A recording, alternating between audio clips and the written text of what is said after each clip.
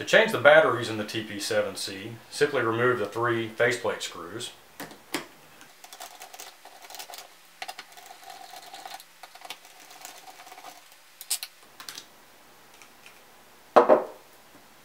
Remove the faceplate.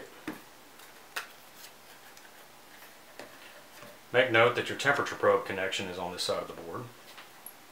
Set your screws aside. Remove the small screw on the battery housing. Be careful not to lose your small screw. And remove the cover. You can at this time remove your batteries, making note of the polarity of the batteries and their position.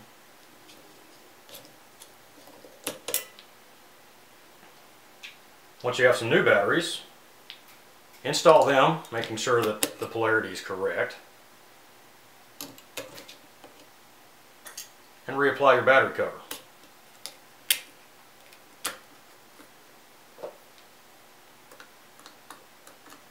Then tighten the screw back down.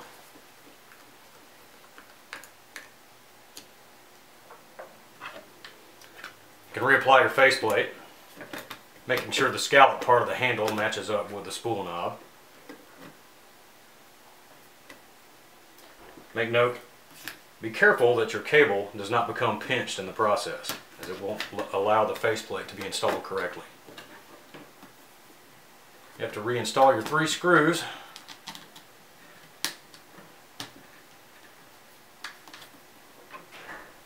Two screws are shorter than the other and go on the the leftmost two screws, the lower right hand corner is a long screw that goes inside the instrument overlay.